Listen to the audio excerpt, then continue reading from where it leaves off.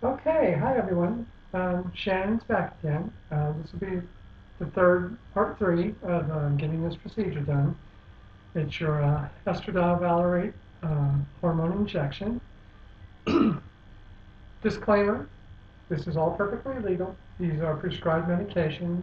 I'm not promoting self-medicating and um, self-prescribing. Um, go see a physician, get your prescriptions, and follow uh, directions and procedures accordingly. Um, you need to be monitored. So, I, um, in the previous videos, I prepared my syringe. It's all ready to go. In this video, I'm going to get an alcohol swab and clean the injection site, drop my shorts, and um, try to minimize the exposure. This is not a um, sexually oriented video. So, another disclaimer, and uh, I'll try to um, spare you all the exposure as little as possible. I inject in the upper outer quadrant of my buttocks. Uh, some girls um, inject in the legs, so in the thighs. So um, I choose the buttocks and I switch from one side to the other um, every other week when I do my injections. Today I'll be injecting in the right upper outer quadrant of my right buttocks. So I'm all prepared with a 3 milliliter um, 21 gauge, 1 inch needle uh, with my solution is already drawn up. It's an estradiol valerate or Delestrogen, same thing. Um, I have a band-aid here, cotton swabs, um, alcohol wipes. So I'm going to use a cotton swab and some alcohol and clean the injection site.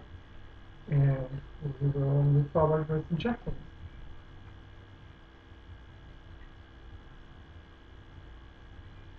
Soak it pretty good. Already washed my hands. This whole injection, uh, the whole work area site has been sanitized with, you know, I cleaned the area. I have a clean piece of paper down and um, wash my hands with antibacterial soap.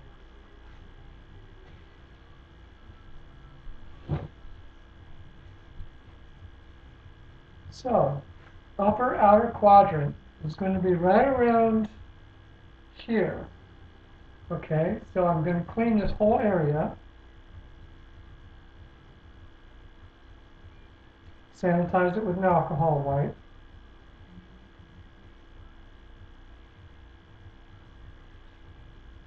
what you're going to see here is I'm going to stick myself and draw back on the needle to be sure I'm not in a blood vessel, and then I will inject the medication.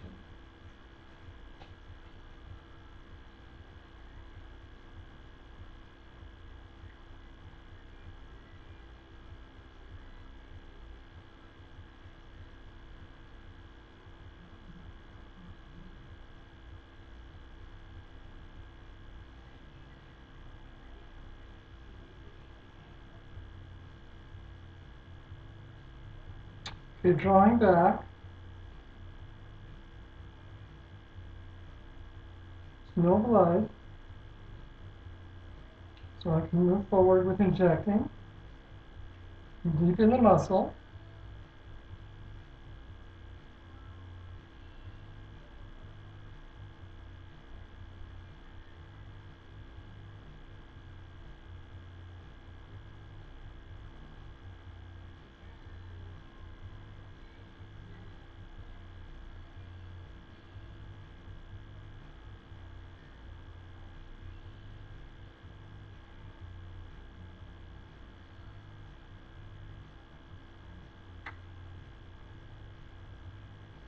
And that's your injection.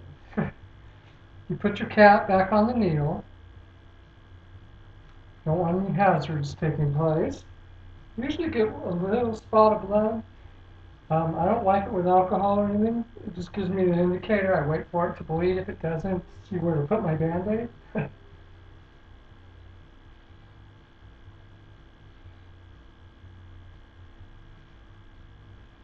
I see my spot. So you rip off a Band-Aid.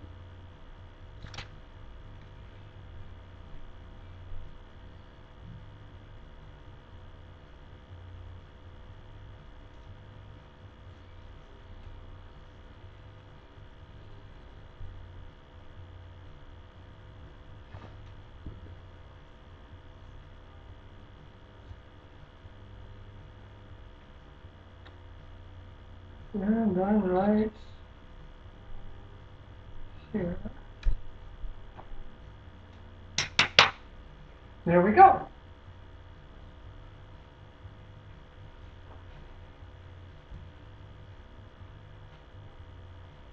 Get my pants up, excuse me.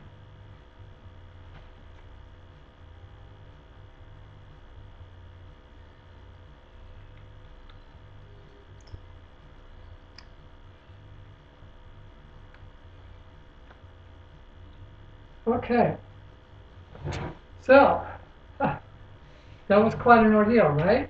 Um, I had to do it in three videos. I hope you watch them all.